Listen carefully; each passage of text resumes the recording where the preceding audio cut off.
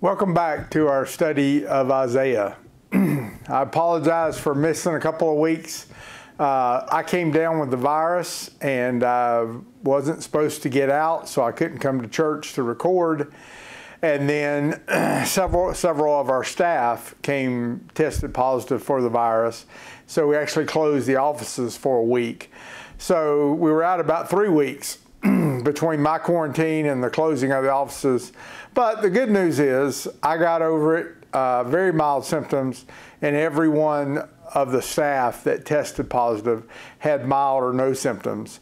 Everyone's back at work, everyone's doing good, so uh, we're the uh, superhuman immune staff at this point. So thanks for your prayers. I know a lot of you prayed for us.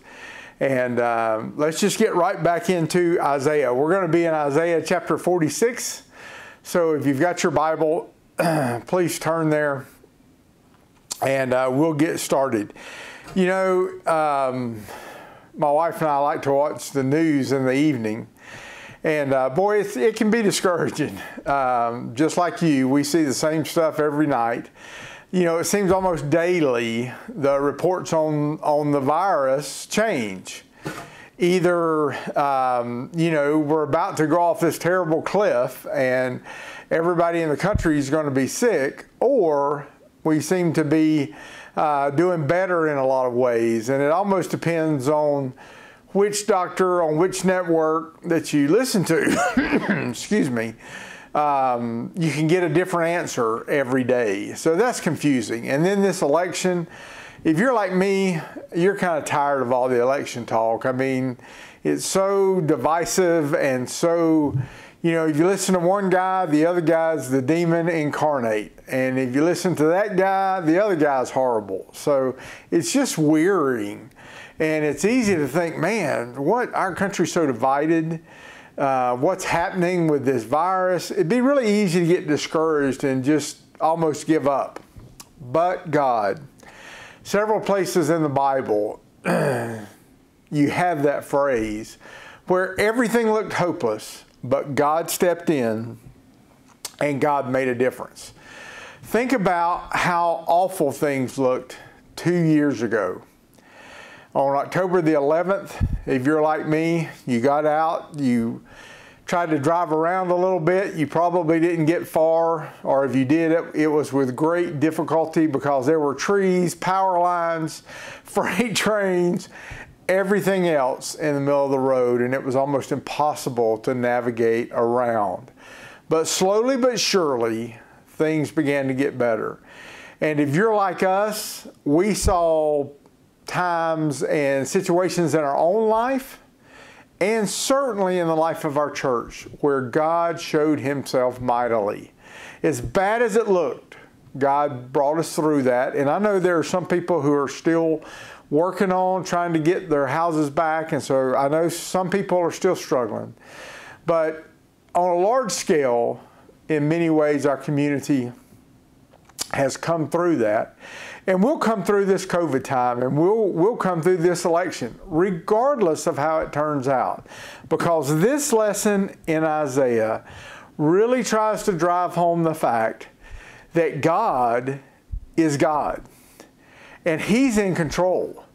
We may not understand it, we may not agree with it, we may not be able to see it, but He's in control and He is guiding things toward His end and His will is going to be done regardless of what goes on around us. Our hope's not in a political party, our hope is not in a vaccine, our hope is not in anything short of the Lord Jesus Christ. And He always shows up. He shows up on time, He shows up when we need Him, and does immeasurably more than we could ever think or imagine. And that's really the lesson of Isaiah chapter 46. So let's jump right in. Um, the lesson didn't call us to look at the first couple of verses, but in those verses it talks about two uh, pagan gods, uh, Baal and Nebo. They were Babylonian gods, they were uh, gods of the Mesopotamian area there, the Middle East, and uh, they were very prominent in the rulers of that time. Nebuchadnezzar, his name is a variant of Nebo. And so, very likely, these gods were kind of the chief gods of the ruling class, and therefore they named themselves after them, hoping to seek their favor. Uh, so, so Isaiah 46 starts off talking about them, but then when he's talking about them, he says they're bowing down and they're being carried off uh, on carts by animals. And so it's really kind of sarcastic and downplaying. These gods who are supposed to be powerful are bowing down, and now somebody just threw them in the back of a cart and the animals are carrying them away. And, and God calls Israel in this chapter to come back to Him and for, for them to realize how He has carried them um, since their very beginning. He's the one who called Abraham out of um, out of the wilderness and told him to go to a place that I'll show you and I'll make you a great nation. So, all along, God has been carrying them. Look at the first few verses. Listen to me, O house of Jacob. He's talking to Israel and all the remnant of the house of Israel who have been upheld by me from birth, who have been carried from the womb. Even to your old age, I am He, and even to your gray hairs, I will carry you. I have made you, and I will bear you. Even I will carry, and I will deliver you. you know, and so really God is reminding them hey, I created the nation. I'm the one who started you. And, you know, he's trying to get them to look back at the ways he's worked at their past. Remember, I called Abraham out. Remember, I gave Abraham a child when he was 100 years old. Remember, I brought the children of Israel out of Egypt and all the different things, all the different ways that God has carried the nation. He said, I have always carried you and I will always carry, carry you. One of the commentators I looked at her um, made this analogy talking about when it says, I carried you from the womb and I'll carry you to the grave, really saying, I'll carry you from the cradle to the grave. And this commentator made this point. He said, There'll never come a time when we will outgrow our dependence on God. We are as dependent on God in old age as we are when we're infants nor will there ever be a time when a doddering old grandfather God will somehow need to lean on us and we will need to find a new, young, virile God for the new age. He is not subject to history. He is in every age. He's unchanging. He is the I am. Certainly, one sense of this phrase is one just alluded to God is always the same, but much more is implied as well. Going back to Exodus 3, the one who says, I am, is self existent, self dependent, non contingent, as well as unchanging. He is above the changes, the limitations, the unforeseen of the time and space. He can indeed carry us through whatever comes our way. God made the world, He made us, He made all of creation, the universe. Whatever comes our way, God can handle it and God can take us through it. Uh, I forgot to let you see the slides there. There's the first couple of verses. Now we'll look at verse 5. To whom will you liken me and make me equal, and compare me that we should be alike? The lavish gold out of the bag and weigh silver on the scales. They hire a goldsmith and he makes it a god. They prostrate themselves. Yes, they worship they bear it on the shoulder, they carry it, they set it in its place, and it stands. From its place it shall not move. Though one cries out to it, yet it cannot answer, nor save him out of his trouble. If you remember, if you studied the lesson last week, Isaiah talked very much the same, really comparing our God to anything else that somebody else cared, uh, considers a God. He says, Who's like me? Who compares to me? And he really shows the argument. He says, Well, you know, first of all, you've got to you've got to get all the gold or the silver together to make the idol. Then you've got to hire a craftsman, a goldsmith, a silversmith, to make the idol. And then once you make it, you have to carry it somewhere and set it down, and then you bow down and worship it. How ridiculous is that? But so many people do that. Not just to graven images, not just to statues somewhere in far off countries, but we do that with money, with prestige, with popularity. We, in a sense, sell our souls to that kind of thing. And God is talking about how ridiculous that is. Uh, to put your hope, to put your faith in something besides the Almighty God. And it says, once you put it there, it just sits there.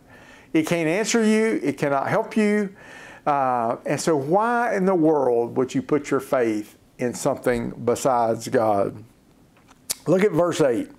Remember this and show yourselves men. Recall to mind, all you transgressors. Remember the former things of old. For I am God, there is no other. I am God, there is none like me.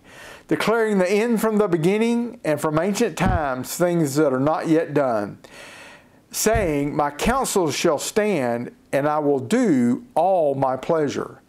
Calling a bird of prayer, prey from the east, the man who executes my counsel from a far country. Indeed, I have spoken it, I will also bring it to pass. I have purposed it, I will also do it. So God is reminding them look back in your history.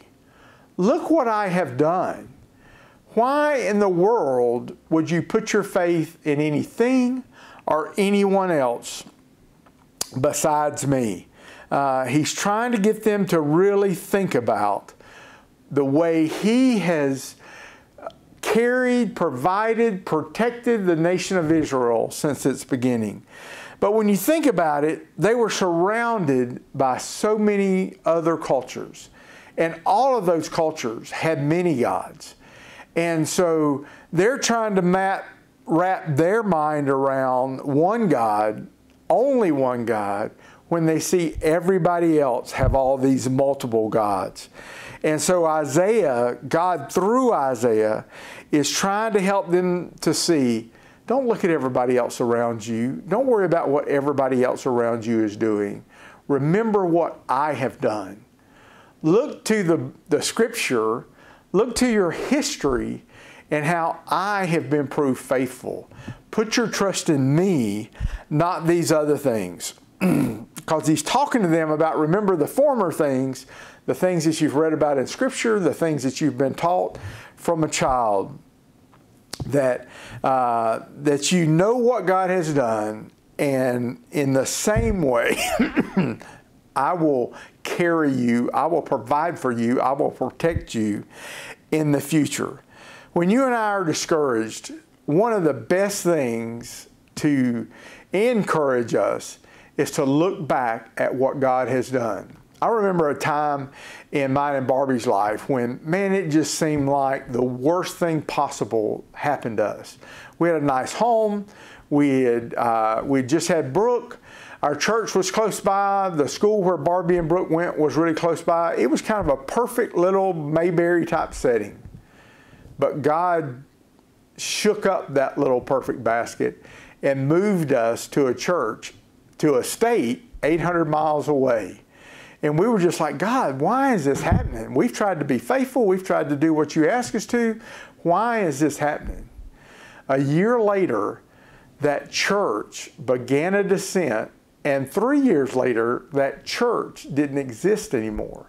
God was protecting us, God was providing us a new church to save us from all the awfulness that was going to happen there. Uh, if we look back, we can see how God has provided in the past. If you're a believer, there's something in your past that God came through and really delivered you from something. At the very least, He delivered you from sin and redeemed your heart. But if you've been a Christian very long at all, you can probably look back and name multiple ways, multiple times that God showed up and God showed out. And those times can encourage us in the middle of difficult times. And that's what God is trying to get them to see, almost like a trial. He's almost got them on trial and says, Look at this. Look what I did. Look what I've always done. I've carried you. And so put your faith in me. Believe in me. Let's look at verse 12. Listen to me, you stubborn hearted, who are far from righteousness. I bring my righteousness near. It shall not be far off. My salvation shall not linger, and I will place salvation in Zion, for Israel is my glory. You know, a lot of times we think that when people are hard hearted, it's because they think they don't need God. But sometimes maybe they know they need something, but they're not, they don't believe that God can handle it. Either way, we lack faith in God to see us through. Um, really in these, they were wrestling with three questions. Is God really strong enough to help us from the gods of Babylon? Would he save them because their sin had been so grievous? And how would he use Cyrus, the, the bird of prey from the east, a wicked man, to come and deliver them? Um, so they're asking those questions, and God reminds them that He's always taking care of them. And, you know, we don't always understand how God works. Um, I'm sure there's been a time in the past when someone's been elected and you were like, oh my goodness. And you thought, there's no way God had a part of that. But God tells us He puts leaders in authority. And regardless of what happens next week, God's on the throne and God's directing things toward the end that He wants. He is sovereign, and whoever wins, He put there. Um, now, it may not be who I want, it may not be who you want, but that doesn't matter. What matters is that we trust God to take care of this nation, to take care of us personally, and to take care of our church. If he thinks we need discipline, he may bring some difficult times. If he wants to bless us, he may bring some prosperous times. But he knows what is right. And he loves us more than we can ever understand. And he's always he's only going to do what's best for us. One interesting thing here that it talks about, it says, You're far from righteousness. I bring my righteousness near. And so he's reminding them, I'm going to take care of you, but it's not because of your righteousness. It's not because you're good. It's because I'm good and I'm merciful and I'm righteous. And it's the same way with us. It's the same way with salvation. We didn't earn our salvation. We didn't deserve our salvation. God granted us righteousness because we came to Him and accepted His free gift regardless of what's going on around us, God's in control and He can handle it. Thanks for being with me today. Hope you'll join me again next week as we continue in Isaiah.